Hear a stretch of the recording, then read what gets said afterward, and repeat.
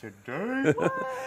Hello, everyone. Welcome to the RuPaul's Drag Race After Show right here on the stream.tv. We are live, so make sure you join in on our conversation. If you're in our chat room, invite a friend or two to join the conversation with you as we dish about this fierce, fabulous episode of RuPaul's Drag Race. So let's get right into it. The library is now open. I love this episode uh, because I always love when they get to read each other. Mm-hmm. And Ru comes in with the glasses and she says, The library is open. But um, we'll get to more of that in a second. But first, let's talk about the reactions to Trixie's uh, return. Um, how do you guys feel about Trixie making her triumphant return? She should have never left. She should have never left. Yeah. It's unfair. She did good in the last challenge. I think Miss Fame shouldn't have been sent home this episode. She should have been sent home about four episodes, five episodes back. Right? Justice for Trixie. Justice for yeah, Trixie was I served. mean, I'm. I mean, we all wanted her, Trixie back. We got Trixie back, and she seems to be staying. So that's great. Now, I read somewhere that uh, the reason why Trixie might have been eliminated was because her uh, Snatch Game character was very controversial. Did you guys see that Oh. anywhere? I, I, I saw the article come up, but I didn't fully read it. But I did see Trixie as um, Anne Frank. yeah, I did. I did. I, I don't know. Is I one of didn't the- see it. It's so one I of those can't- moments where you you don't know whether you should laugh or if you should be like, "Ooh, girl, no, don't do it, but don't at, do it." But at the end of the day, every season has a queen that has to change their character at the last minute. Yeah. And it would have been no different for Trixie. Yeah. I mean, they would have told her from the beginning, if it was in her audition tape, don't do Anne Frank. There you go. She got sent home like two episodes before Snatch Game. yeah, that's true. Yeah, I mean, they could have. They could have just stopped that. I mean, that's what producers do. They could have just been like, "No, you can't do it." For Well, one person who is not happy about Trixie's return is Miss Fame. She made that very clear uh, after And the elimination. Yeah. But here's the thing about Miss Fame. If I was Miss Fame with her track record in this competition, always on the bottom, never doing good, I would shut the fuck up and Yeah. just, you know, be like, okay, at least I'm safe this week. At least I'm safe this week. I have an o- I have an option to show myself next week. But you know what? Shut up. They let her back in. What Well- See, I think if you think that you're doing amazing, which Miss Fame does think that she's doing amazing, Mm-hmm. that's why you you hate on other people because you think that you should be top instead of but see. I feel like Miss Fame thinks she's doing amazing because she looks amazing. right. But looks can only get you so far. Clearly, it's Fame. All right, so let's go into uh, let's go into the library, shall we? In the the mini challenge, the library is Let me open. grab that. Um, I I was a little disappointed this season. They weren't funny. Some of them were kind of. Some of them were like on like like the ticklish side. They were like, "Oh yeah, that's kind of funny," and then some of them tried too hard to be mean, and then it just kind of was. Let like, me let me tell you who was not funny at all and fell very flat. Miss Fame. well, She fell so flat that like I don't even think there's a word to describe how flat she was. She is a topic of so many conversations today. She is. Oh well, my god. It's because okay, when you do a read, like it's real quick and sharp. Like Miss Fame, we all know how she likes to talk. So she tried to almost explain her read, and it's like we ain't got time for that. You supposed to say it, do it, gut it, move on. she did a read monologue. She did a read monologue. No, it was more like a soliloquy where she was like an introvert monologue, and then she was like, "Oh, and here's the point," and everyone's like, "Everyone missed the point but you." Right. Well, but Trixie killed it though. Trixie Trixie did. Trixie did did. a great job. I thought Pearl actually did a pretty good job too. I I want to know if she actually did one for Ru. Because when she went, RuPaul, and sh- RuPaul was like, bitch. Not today, Satan. and then they cut it and it was like, the library's now closed. But I wonder if she actually got that out and, and if they just edit that I out. know too now. Like I oh, didn't yeah. even think about that. I just thought it was kind of like a throwaway joke. But Yeah. if there is out there, I would like to know. It- Show us. And it was it, it was very fitting because her and Ru, Pearl and Ru, have kind of gone head a to head and little. clashed a little bit. So I I want oh I wonder what Pearl has to say. What Um, What do you think she has to say? do you have any? What how What first, would she say? how would you read RuPaul? I mean, he looks like a giant penis, but that's just No one, no one sees that. He's tall and bald. Isn't that like a running joke for like people who look like me? See, I would have lost the challenge. I'm sorry. What is wrong with being tall and slightly bald? You're not bald. I mean, I'm short and What's wrong with bald. looking like a penis? we all know where your mind is. Oh, okay. I want to say though, the best read to me was after um, after Trixie won the challenge, and they're like, "You won a five hundred dollars certificate to Sequence Queen," and then Violet goes, "Thank God!" I was like, "Yes, that was my favorite read of the It's episode." like no one wants that prize. um, but I mean, overall, I, I just kind of felt like uh, it was okay. Like it, it wasn't it wasn't as like it wasn't like Jujubee where like that season where she like literally got everybody and it was just like one after the other Giving after the other tick. after the other. Oh, that was Jujubee's dance. yes, yes, yes. Sure, sure. That's that's how she did it. And uh, Katya was funny too, but we I mean we all knew that she was gonna be funny. Uh, Kennedy Davenport, she was pretty good. Yeah. I But, don't uh, know. I'm losing. I'm losing on the ginger team ginger a little bit.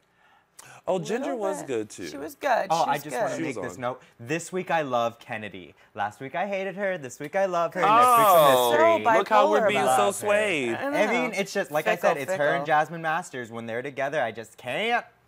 I can't handle it. Is it too much? Such a It's too fickle much. Romeo. It's too much.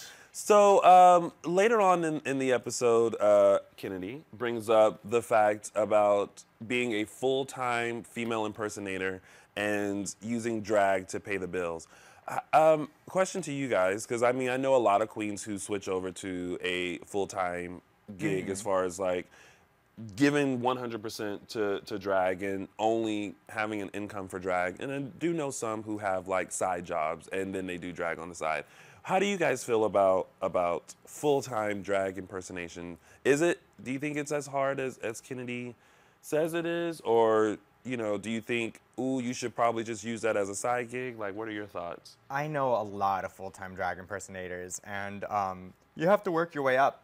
You have to do the competitions. You have to do the free gigs. You You have have to pay to your leg- dues. You have to pay your dues. Yeah. Um, and most of the ones that I know that work full time perform 12 times out of the week, go to one club to another, to another, to another, and they still have to have shared living situations and do all this stuff. Drag's not cheap. And you're not Um, gonna get make all the money you want unless you are a name. Yeah. And now thanks to RuPaul's Drag Race, it's even harder to get your name out there because they all just want the what 60 queens that have been the through the known cycle. queens. Yeah. Yeah. Yeah. I do think that that Drag Race does give them a platform to up their booking fee, Yeah, as I have experienced. But um, but hearing Kennedy say, you know, that the bookings are very scarce, and and I, I get that because you know you have such an influx of queens who are now trying to do this because of Drag Race, Yeah. and not every club and bar can have 20 queens performing every month. Um, and they though?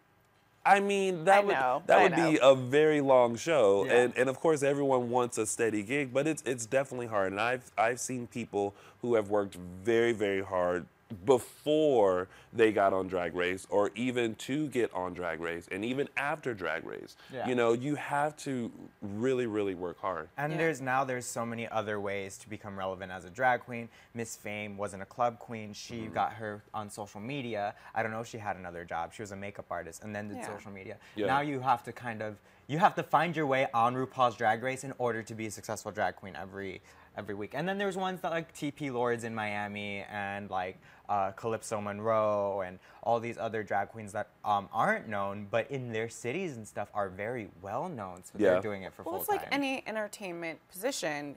It's about the hustle, and yeah, it's going to be a constant struggle. So Yeah. I, yeah, definitely you can do it full time, but there's like a handful of people that can. Yes. well, we all know now Kennedy Davenport has no problem paying them bills now because she is trotting across the globe doing every death drop, high kick, split, jump, everything and getting those coins. So I, I Good- really do good. hope her little Hats Richard off. gets as popular as uh, Jinkx Monroe's uh, little Edie. And she just gets booked off of doing that because, you know, that's a Jinkx light gig. Monsoon. Jinkx Monsoon. Sorry. what did I say? Mon- Monroe, but it's Jinkx okay. Monroe. Yeah. You gave her a new name. It's fine. Um, so moving on to the uh, main challenge, um, which was the John Waters uh, screen test. and the ugly dress challenge. Um, so John Waters, very big time director, worked with the original uh, drag superstar, as RuPaul uh, mentioned, Divine. I thought this was a, another fun acting challenge, but of course, it was another acting challenge. And Right. I'm starting to see that fans are not keen on these acting challenges because you got to be talented in order to do an acting challenge. That's true. I and yeah, the point is like you would be a fan of these Mm-hmm. these challenges if they were executed amazingly and Yeah. they weren't. This was my all-time favorite challenge in RuPaul Drag Race history. I just want to say that out there. Yeah. But every season has too much of some channel what, challenge. What was it? Raja's season. Every other challenge was a sewing challenge. Yeah. Um, besides like last season and the season before that, it just it's just a pattern. They have to come up with new challenges to be relevant and stuff like that. So Yeah. they're like, oh, I think this one is more about the education of drag this season because of the whole transgender issue that happened last season. So they're like, okay, let me bring up relevance to history, history mm-hmm. as they say it. Yeah. So we can show what drag is opposed to just these fun little niche games so we don't get in trouble anymore. Yeah. but I John s- Waters is like an amazing challenge yeah. itself. And and also Divine was, you know, a, a, one of the the queens that came into the mainstream before Ru. Before Yeah. Ru, there was Divine. So it's another drag herstory lesson for for those who are donning those wigs and heels and not knowing the people that came before. Um, so what did you guys think of the the screen test uh, that happened? I loved it. I loved it. I loved it. I loved it. I loved it. I loved it. I loved it. I loved it. I loved it. Every aspect of it. I loved every single one of them. This is the first. This is the first challenge that I can even say the bottom group. Mm-hmm. If this was the first week, and they and everyone, they would have still been in the top. You get, Yeah. I don't know. It's kind of weird. Really? I I like. Well, you know what? I didn't like the poo one. I didn't like. I, I mean, didn't. the poo the poo one was worst when you juxtapose them to every other one, but it's still. I loved it. I loved them all. I just I just. I felt like it was like lacking style. some kind of energy, you know, that I don't I, I I'm not quite sure why I didn't like it because You had. You know why? Is because they could not get out of their head. There's so much that they had to think about. They had to think about the lines, they had to think about the song, they had to think about their character. And when you don't go into these challenges just having fun, Yeah. then that that's an issue. You have to go in there with a clear determination of what how you're going to play this character and just simply have fun with it. Let me refer what I was saying. I loved Violet in the poo one because to me it was like Violet is now finally coming out of her shell, being Mm-hmm. a nicer person. When it comes to Miss Fame and and uh, Pearl, you know what? Girl, bye. I, I actually liked well, girl, bye. Girl, bye.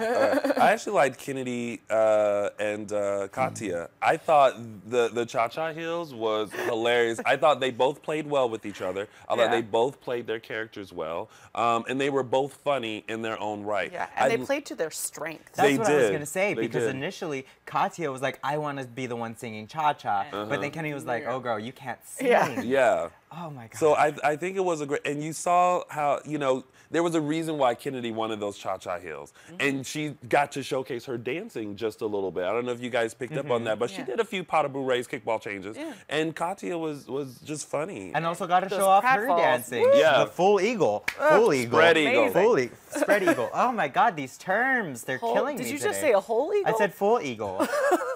okay. A spread eagle? Spread eagle. I don't have a vagina. I, don't know these terms. Okay. Oh Well. boy. I do think that that Trixie uh, and Ginger they did okay, but I do think that Trixie could have Trixie is a character in in herself, like she Yeah. could have been over the top and bigger than life. But you know what? I think if it was two over the top and bigger than life characters, it would have been overdone and annoying. I think it was a good mixture. I think it showcased Ginger more than Trixie, but I, I, I think they both killed it. But I think it could have been a match. This was this Yeah. was Two peas in a campy, you know. Yeah. uh, This was a campy thing. Who sings about eggs? Like, I mean, play it up, have Yeah, fun I with it. I feel like John Waters is overacting Yeah. in that, and you can you gotta go balls deep in it and just Yeah. go for it. I don't know. That's my that's my take on it. So, and then we had the the ugly dress challenge, which I thought the only person that had the most hideous dress is really between Ginger and uh, and Violet. That I thought their Katya's dresses were dress like, was hideous. It was hideous. It but was I, heavy. but I agree with with John. Like some hippie girl in Brooklyn would love that True. dress. Absolutely. Like You're I could see right. someone wearing that dress with a cute little belt Mm-hmm. and like a little cowboy hat and cowboy boots and still being able to rock it. But in the same in the same breath, you can say that about Ginger's dress because Ginger's dress was really well made. People love the color green. It was well made, Yeah. but that is ugly. that is an Well, ugly you know, color. I feel like Peggy from Married with Children would wear that and rock Yes. it. You know. Yeah, of course. Um, Mr. Mark, Miss Fame, that was actually a gorgeous piece in my beautiful, opinion. and yeah. she was painted to the gods. Yeah. And I that would have uh, that would have won if you see that would have won like the runway challenge Yeah. if she would have made it in the first few episodes. It was beautiful. And and Pearl the same way. That was not an, an ugly dress. That was actually a, a very stylish hip dress. one of my me. favorites on Pearl. Yeah. Do you think they're afraid to go too ugly?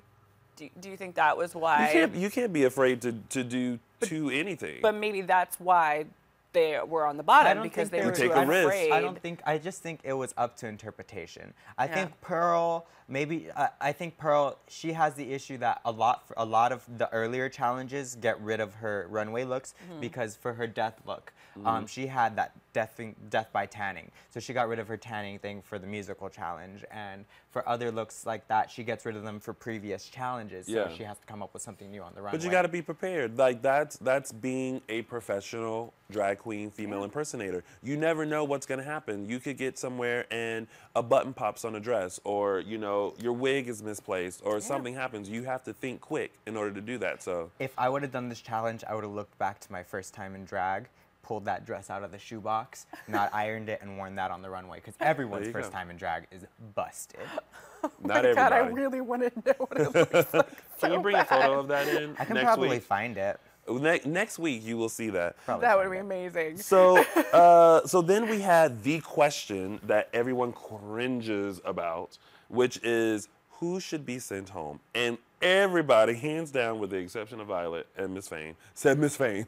And I have to agree. She's resting on pretty, and I don't like queens who rest on pretty. You can be a beautiful drag queen, but it's like, what else can you bring to the table? But you know what? The thing about Miss Fame that I think is what kept her is yes, she was resting on pretty, but unlike the other queens that rested on it, she was trying so goddamn hard to do everything else. She just lacks like if she would have been in the performance circuit and she would have taken an acting class and maybe a few other classes and had a little bit more originality to her, she would have gone far because she really wanted it. But But- when you get a, a, a position like this, wouldn't you have gone and Gone done and that? done that. Improv class. I will. I cannot stress this enough. This is season seven of RuPaul's Drag Race. There are no surprises as to what is going to be expected of you. So you know there's going to be an acting challenge. You know there's going to be dance. You know there's going to be sewing. Like get yourself together to make yourself the best that you can be. I don't think they give the queens times enough from the point where they know they're going to be on the show to going there. Because I've heard it's, oh, I'm on the show. I have a week to pack everything and go. But in my mind, if I knew my my ultimate my ultimate like level is to get on RuPaul's Drag Yeah. Race to to to sh- to show myself, I would have done it.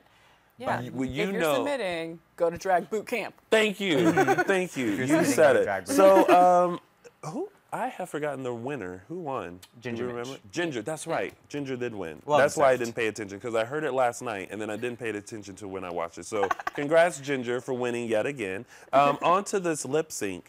Um, where uh, Demi Lovato was also the special guest judge, and they uh, performed her song, um, which I love this song, uh, by the way. Um, how love did you? Demi. What did you guys think too. about? Um, and she was very happy to be there. She's been wanting to do it for a long time. Um, which, yeah.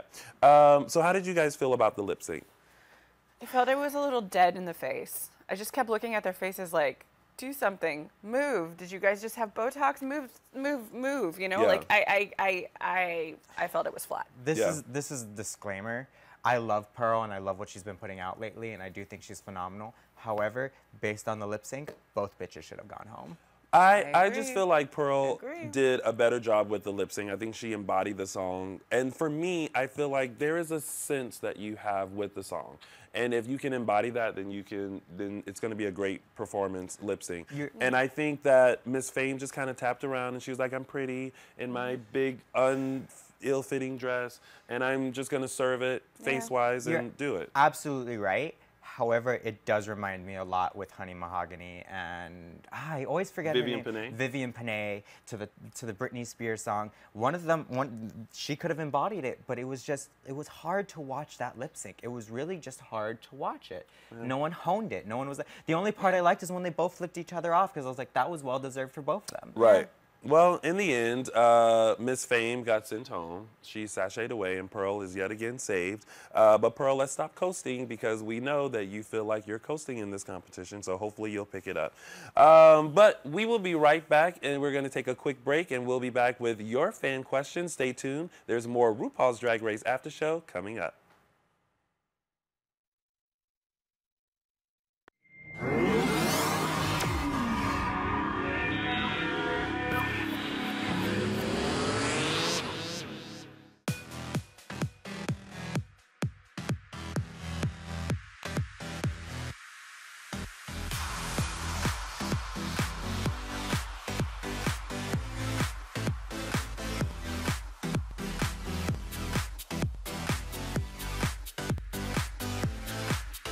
Just in case you missed it live.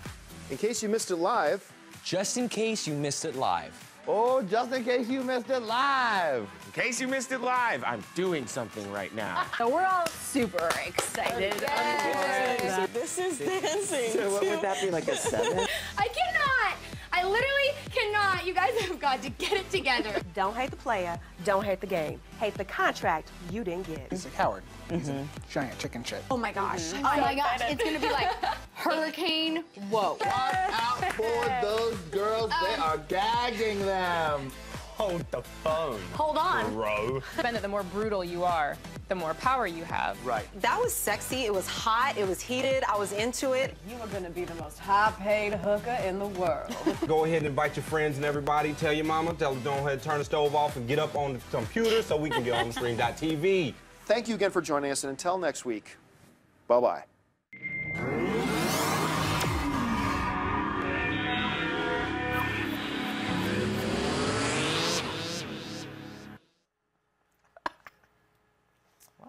Hey everybody, welcome back. We are still in the midst of the RuPaul's Drag Race After Show right here on the stream.tv. If you are joining us live, make sure you hit that subscribe button. And as a reminder, don't forget if you are a huge fan of RuPaul's Drag Race and you're in the Los Angeles area or will be visiting, RuPaul's Drag Con will be May 16th through 17th. So make sure you get your tickets today because trust me, these queens are coming for those tickets and you don't want to miss this huge event that's happening right here in LA, May 16th through the 17th.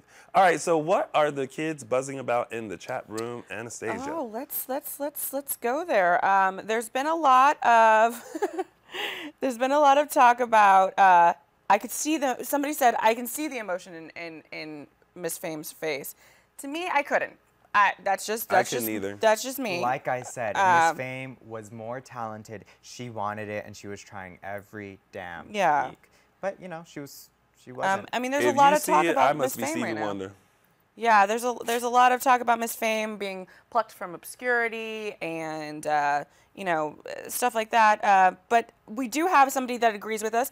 Uh, Jason Karekis. Caceres. Caceres, there you go, uh, said the lip sync was horrible. Yeah, I get it. I can't say things sometimes.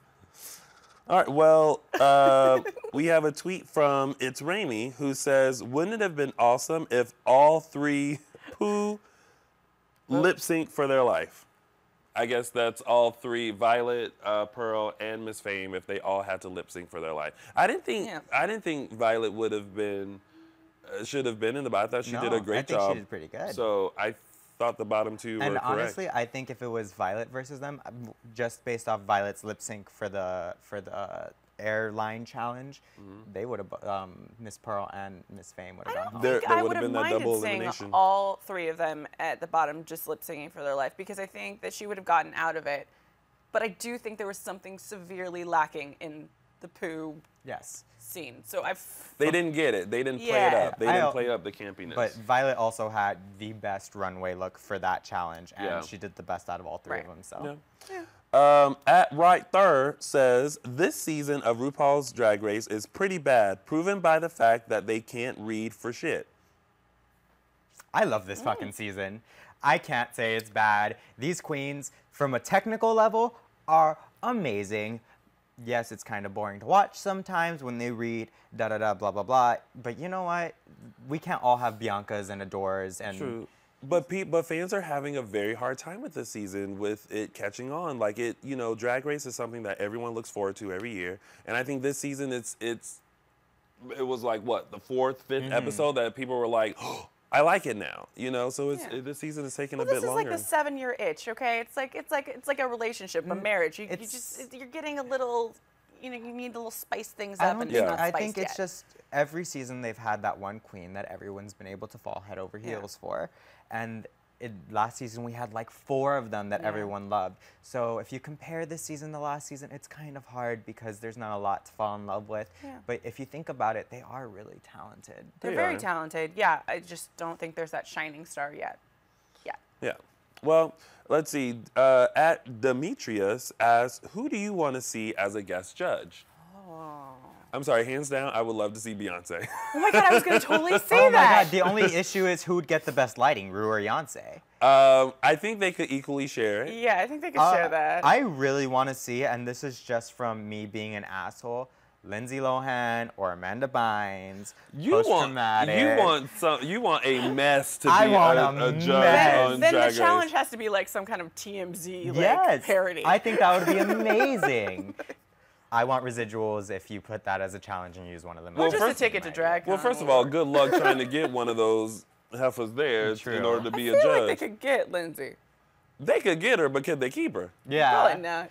I mean, she'll probably be three hours late and fucking trembling in. But you know, go But- Lilo. She'll be there. Uh, yeah, well, you. s- yeah, I was. I, was I gonna want say Tina Fey or Amy Poehler. Oh my Actually, I just changed my mind. I want one of them two as a as a As like guest a comedy judge. challenge. Yeah, as a comedy challenge. I think they are. Yeah. Oh my God, they are amazing. Or Amy Poehler could come on and like do a Smart Girls challenge because that's her Mhm. platform, Smart Girls. Like, you know, show us your drag as a smart girl, and I think that Play would be to the cool. top of your yeah. intelligence. Maybe an Yeah. improv challenge. We haven't really had any improv challenges. No. That would be a great That'd idea too. Improv Yeah. is such an awesome platform for drag queens. But can you imagine one of the how queens. hard that would be an improv challenge? Let's let's just talk about how that would go. It would, I don't know because improv, like even people who aren't naturally funny, play such a good straight man. I'm an improviser. Um, play such a good straight man that it can really showcase. Like Miss Fame could have probably been amazing in it because she's not naturally funny, but when people are trying to be an over character, Yeah. having someone in their head is hilarious to watch. Yeah. Shoot Well, fly. All right. well, speaking me. of being in your head, we hope that for the rest of this week, we'll be in yours. Make sure you follow us, like us, make sure you subscribe to thestream.tv, and throughout the week, we want to hear your thoughts on this episode and the next episode of RuPaul's Drag Race. Make sure you use the hashtag RDR7AS. And before we head out, I know you guys have probably been wondering where Jai Rodriguez is. right He is right here giving us resting bitch face, but not really. But he is off. He is doing the whole LA audition thing, and we wish him the best and hope that he lands the. I, I don't want to say good luck because I feel like that's bad. I want him to break all legs. break every leg that you have. But Bitch on my look though. but until then, we will see you guys next week for another fabulous recap of RuPaul's Drag Race season seven. Ta-tas for now.